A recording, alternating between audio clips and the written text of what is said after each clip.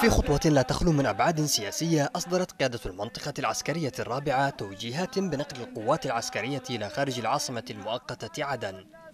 التوجيهات الرسمية التي لم تدخل حيز التنفيذ بعد قضت أن يتم توزيع تلك القوات إلى محافظات عدة بينها تعز وأبين والضالع وتعزيز جبهات أخرى في محافظة لحج القريبة. على أن يتم توزيع ألوية الحماية الرئاسية وبعض ألوية الحزام الأمني على الجبهات القتالية المختلفة.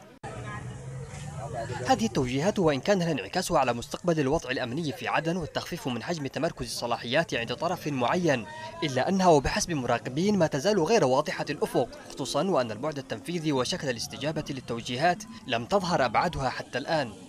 العاصمة المؤقتة عدن تعيش واقعا أمنيا غير مستقر وصلت إلى حد الاشتباكات بين القوى العسكرية والأمنية المتعددة في المدينة. بل إضافة إلى احتقانات أخرى نتجت عن تضارب الصلاحيات الأمنية داخل المحافظة.